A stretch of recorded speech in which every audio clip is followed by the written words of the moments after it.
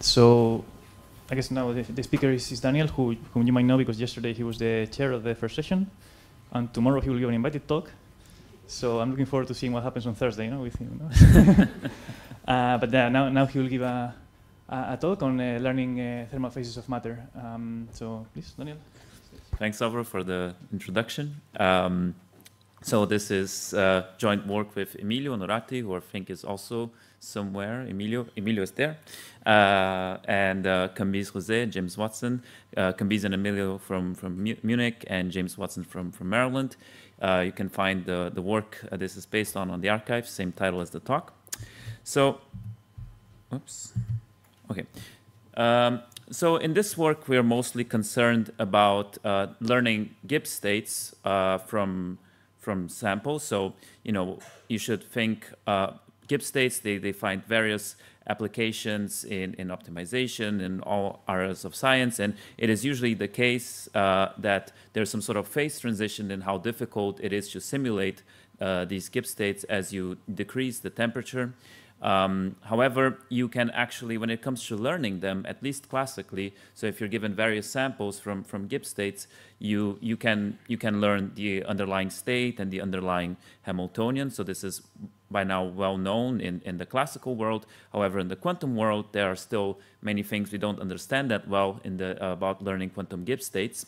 And in this talk, I will mostly be interested um, in what can be done if we are given log n samples. So if you have n qubits, I want to see what, what properties of these uh, Gibbs states we can actually estimate uh, in the setting where the number of samples we have scales logarithmically in, in, in system size. And we'll consider two different settings. So uh, in one of them, this is more the traditional setting of, of tomography, where you're given uh, multiple copies of the same state, um, and you want to infer some, some classical representation of it. Um, and in our case, we'll make the additional assumption that this is uh, the Gibbs state corresponding to some local Hamiltonian. Uh, and the second setting we're going to consider is that of what we call learning thermal phases of, of matter. So this is very much inspired by some work by, by Richard and, and co-authors, where they consider the setting where you're not necessarily given uh, copies of the, the same state, but like a whole family of, of states here. So here they're indexed by this, this, uh, these parameters x. Uh, and you don't want to really learn something about one state, but rather this, this whole family of states which are parameterized by, by X. And again, all we want to do is in this polylog n copies regime. So uh, I'll quickly discuss first this first um, uh, setting where we are given copies of the same state, and then I'm going to move on to the, the one of the, the phase. So um, yesterday we had this uh, nice overview of, of shadow tomography, and we all love shadows. Uh, they are very versatile, efficient storage, classical computation, um, and you know if you want to, for instance, estimate all marginals of a fixed size of a quantum state, then you can do this with log n samples, which is uh, sort of in the spirit of what I want to do. However, um, if you want to uh, look at how the sample complexity scales in the size of the support of the observables you care about, there's an exponential scaling there. So in practice, even with shadows, you cannot really recover uh, observables that are supported on huge uh, parts of, of the system. Um, and another thing is that is also, of course, an advantage of shadows in most settings is the fact that it doesn't require any assumptions on the underlying state, but it also cannot uh, use the fact that you might have some additional information, for instance, that it corresponds to a quantum many-body state to reduce your sample complexity. So, um, and so on the other hand, there are also the, the various Gibbs learning, uh, sorry, Hamiltonian learning protocols. For instance, there is this very nice result by Anshu et al., uh, where they show how to learn the parameters of uh, corresponding to a Gibbs state efficiently in, this, in the sense of, of sample complexity. Um, and in this setting, they really require you to have some sort of, of Gibbs state. It is a very simple protocol in the sense that you only need to, to measure some few body marginals. Um, however, this, uh, these uh, Hamiltonian learning protocols, they require polynomial number of samples. And actually what they do is not to learn the, the state, but rather the, the parameters uh, of, of the Hamiltonian that then generates the state. So it's, it's a different figure of merit. Now, uh, in our work, uh, we consider then uh, a different metric, which is related to the so-called quantum Wasserstein distance. So um, to introduce this distance, uh, which uh, De Palma and co-authors came up with, uh, first have to introduce the notion of a Lipschitz observable. And roughly speaking, Lipschitz observables are those observables such that if you fiddle with one of the qubits, if you just apply, let's say, a one local unitary, the expectation value of the observable won't change much. So like local changes cannot change, like local operations cannot change the expectation value a lot. So these are Lipschitz uh, observables. And this Wasserstein metric uh, quantifies how well you can distinguish two states based on these observables that are somehow stable to, to local perturbations. And it has some very nice properties. So for instance, you can show continuity bounds for entropies in terms of the Wasserstein distance. And if you have just a sum of few body observables, this, uh, although the operator norm is usually like of system size uh, order, the, the Lipschitz constant then is of order one, like constant.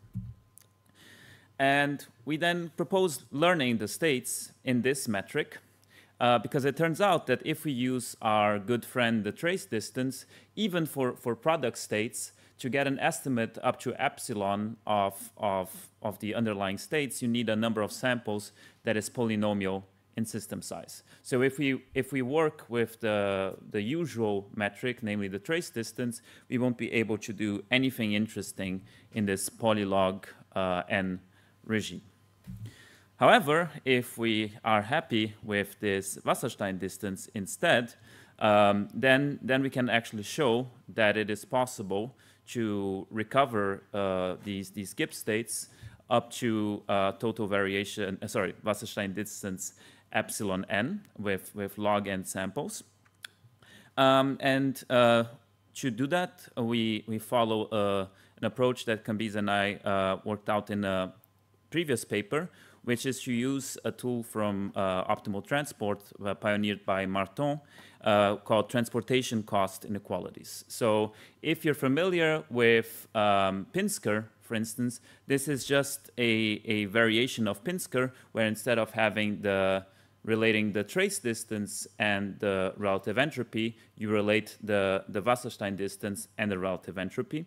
However, these inequalities are significantly stronger. They imply a lot of strong properties for the underlying states. And unlike Pinsker, they don't hold for, for every state.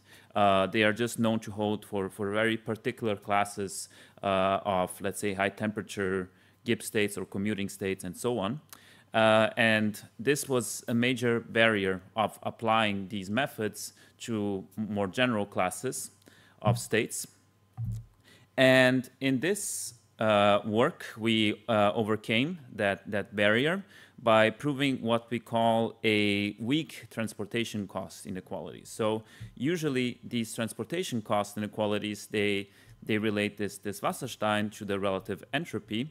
Um, and but now we call it a weak transportation cost inequality because we allow for an error term that is uh, vanishing as, as epsilon uh, goes to zero. So we, uh, this sort of inequality doesn't get you all of the nice consequences of the usual uh, transportation cost inequality, but for, for this learning application we had in mind, it works well. And we need to make two assumptions on the underlying class of states.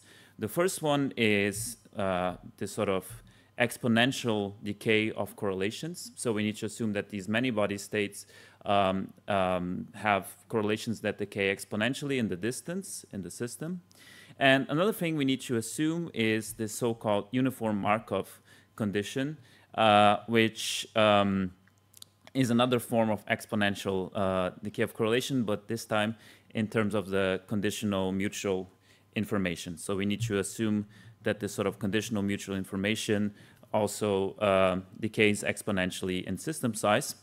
And um, these assumptions uh, don't hold universally, and it's very hard to actually show that they hold, but at least for some classes of uh, high and low temperature states, uh, and uh, for instance, for all commuting models or things in, in 1D, we can show that uh, these assumptions hold. So then we also obtain these uh, weak transportation cost inequalities for such systems. Um, and then put together with some uh, results on estimation of uh, quantum Gibbs states based on maximum entropy methods, uh, we can then show that you can estimate quantum Gibbs states in this Wasserstein distance with a number of samples that only scales logarithmically uh, with the size of the system. And why should you care about that? Why is like estimating this Wasserstein distance interesting? Well, it means that uh, the, the state you recovered uh, will, will more or less have the same entropies as, as the original state for observables, which are like sums of few body things, like energies and things like that. The, the two states will agree. So, you know, it won't, they won't agree on all possible observables you can write down, but they will definitely agree on more, let's say, physically motivated um, things. And on top of that, uh, the number of samples you need to recover, let's say, uh, information that is contained on local patches of the system will also scale polynomially on the size of those patches, which is uh, exponentially better than using shadows on their own, which have this exponential scaling I mentioned before. So somehow um, we have this uh, polynomial scaling in the in the locality, but I must also say, of course, that we make very strong assumptions, these, these, these exponential decay of correlation sort of assumptions. And on top of that, uh, at least for this version of the algorithm we have so far, unless you're applying it to commuting states, the post-processing will be exponential in general. So that's definitely an important open problem, I, I guess in general, to get more efficient uh, ways of estimating these, these Gibbs states for various applications. Because at least for commuting, we know it, it it's efficient.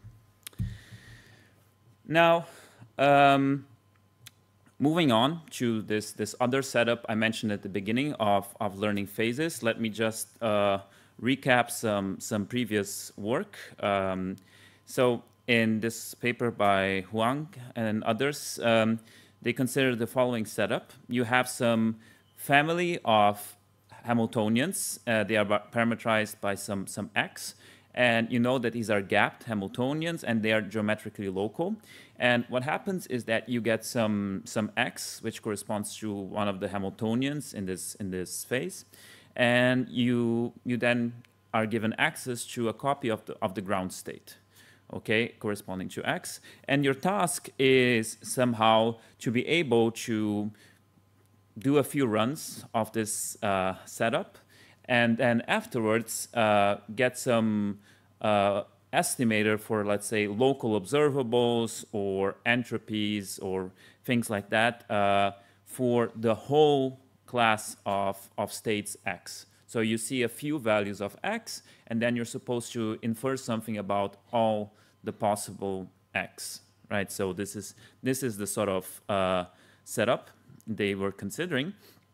And uh, it's quite remarkable that you can actually do this. Uh, so, and moreover, you can do this with efficient storage and classical computation. Um, but in, at least in this, this previous work, the, the scaling in the precision with which you want to recover, let's say, local observables was exponential. The, the sample complexity was also polynomial in the system size and again, I, I really want something logarithmic.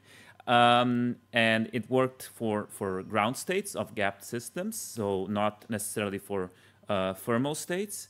And um, the, the recovery was on average. So they could not say that like for, for a given X, like how, how good is my estimate, just like taking the expectation over the, the parameters. Um, and, you know, this, this sort of uh, the, especially the the the, um, the scaling and the and the precision meant that it, unless you take a huge amount of samples, you only get like very few body observables in practice. And uh, in this work, we, we addressed uh, these issues. So we extended the results to um, uh, Gibbs states, and uh, we have worst case recovery guarantees. We have an exponential improvement in the precision. So it's, it's still a quasi-polynomial. It's not a polynomial yet, but it's, it's already better. And um, we, we also extended it to, to uh, Gibbs states. And I should, of course, mention that uh, in parallel, uh, the more or less very similar group of people as the first paper also had a second uh, paper, which is, which is great, uh, was presented at QIP, um, which, which also has, has similar results, but again, mostly looking at uh, ground state properties. Okay, so what is the philosophy uh, behind our, our algorithm? It turns out that um, if you consider, for instance, gap state, uh, ground states of, of gapped Hamiltonians or most uh, physically motivated Gibbs states, they will have these sort of exponential decay of correlation properties I mentioned before. And it turns out that if you have exponential decay of correlations, you have another thing called local indistinguishability. So uh, what is local indistinguishability? Um, if you take um, the, you look at some area of your system, let's call it S, and then you look at the reduced density matrix uh, around uh, a radius of this S, uh, and you consider two different Gibbs states. Uh, one of them is where you, you took the, the, your original parameters x, and the other one is where you just take the, the parameters x on this enlarged region, and you just kill all the other entries. You just set them to zero. And it turns out that the, these two will become exponentially close to each other, like the reduced density matrices, uh, as you increase the radius around, around this region. Um, and um, we, we also consider, uh, so this is what co is called local indistinguishability. And um, like we also consider variations of this in the paper. So like not all phases you might want to uh, consider have this property, but I let's just consider the case of local indistinguishability for now. And um, what, what we then do is the following. We show somehow that um, under local indistinguishability, the only, if you want to recover the, the density matrices locally, right, if you only want to care about local information, then it doesn't matter too much what is going like outside of S. So if the parameters inside of, of this region are close, then it doesn't really matter what's happening outside. The reduced density matrices will be close. And we are then able to adapt the original uh, proof of the, the shadows protocol to show that if you're given shadows, not necessarily of, of the same state, but states that are in some sense close to each other, at least locally, then the whole thing still, still goes through. So it, this is some sort of like non-IID version of, of the, the shadow protocol where you're given things which are not exactly the same but kind of close.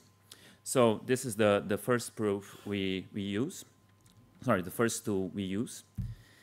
Um, and then we just uh, use the following algorithm to learn over these, these whole phases. So let's say you, um, the first thing you do is you sample a lot of these points from, from this phase, so point x1, x2, x3, x4. You generate a shadow for, for each one of these points you're given. You store the corresponding parameters and shadows in your, in your classical computer. And then after you've done this uh, a lot of times, I'll tell you how many times in a second, but it's already there. Let's say you want to then uh, estimate for some value of x you haven't seen before, the expectation value on some region A. What you just do is you just go back to the list you had before and you look uh, for which values of, of, of the samples the, the, the parameters on A look kind of similar to this point y you want to recover. And then you just do the, the shadow estimate on these points you've seen before. So essentially, you just collect enough points so that you've covered the whole space locally, and this is then sufficient to sort of recover um, the local expectation values. Um, so all we need really is just to collect enough samples that so that we can see what is going on in the whole space. There is no, so previous results really require tools from machine learning and things like that. We don't require any machine learning tools. It's more sort of a concentration of measure problem because we essentially show that it's all very local. It only depends very locally on, on the parameters and you just need to collect as many points so that you can see everything um, locally. So we just run some sort of uh, coupon collector analysis on this problem um, and then get this, this sort of sample complexity for the uh, whole phase. And with that, uh, I'd like to conclude. And uh, as I mentioned, there are a few important problems, namely, for instance, how do you actually run the, the first bit I mentioned on learning the Gibbs states in a computationally efficient way. Um, and, well, you know, uh, we make some strong assumptions on the sorts of states we are considering, and it would be nice to, to relax them in general. And uh, with that, thanks for the attention.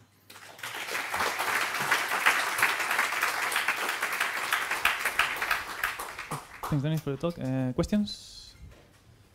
Um,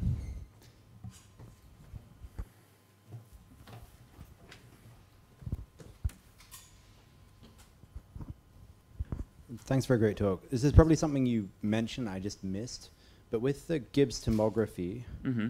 what is the output that you are like getting that characterizes the state? Oh, okay. So, uh, right, I should have been more explicit about it. Sorry. So, essentially, what you get is like you get some x hat. So, you get the parameters of some other Hamiltonian. And once you consider the corresponding Gibbs state, you have the the promise that they'll be close in this this metric. So you get you get a set of parameters for some Gibbs state. Okay, and the parameters, like the the set of Hamiltonians that I'm choosing from, contains the Gib the Hamiltonian that prepared the official the, the Yes. original. So it's kind of like it's like a Hamiltonian learning problem Mm-hmm. as opposed to a state tomography thing. Well, you know, Yeah, but I mean, at the end, we're interested in the state that is. Just, we we don't. Right. So uh, usually in Hamiltonian learning, you want to uh, have a promise that like this x hat and this x are close in some metric.